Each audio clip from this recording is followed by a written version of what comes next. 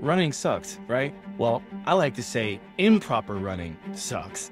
Running or proper running is a skill, something that, just like any other complex movement, needs to be worked through and needs to be perfected or at least enhanced by working through it and learning the proper mechanics. And so, if you don't want to take my word for it, check this out. And I think a lot of people run incorrectly today. Humans have been running for millions of years. Most of that time, we were running barefoot. So, I'm kind of curious how did people run before shoes? And what we learned was that today shoes have these cushioned heels that enable you to essentially run the way you walk, right? You land on your heel. Everybody who's barefoot sometimes lands on their heel, but people who are barefoot often, more often than not, land on the ball of their foot and then they let their heel down. It's called a forefoot strike or a midfoot strike. And when you do that, you actually prevent your foot from crashing into the ground, causing what's called an impact a collisional force. You run lightly and gently.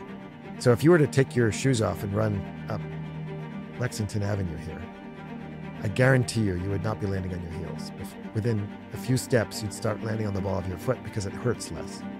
And so that's how we evolved to run. We evolved to run in a way that, that doesn't involve slamming into the ground with every step.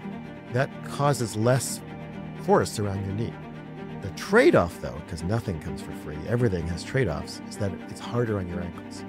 Your calf muscles and your Achilles have to do now a lot more work to let your heel down. And so people who switch from heel striking to forefoot striking often have Achilles tendon problems, they get calf muscle problems, they don't do it properly, they'll get their foot muscles aren't strong enough, they'll get all kinds of foot problems, right? So you can't just suddenly become a barefoot runner and start forefoot striking.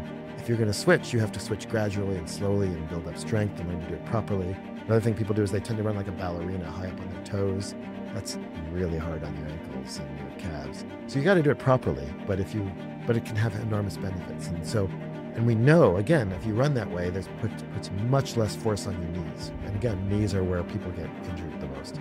So I think a lot of knee injuries come from the way in which we run.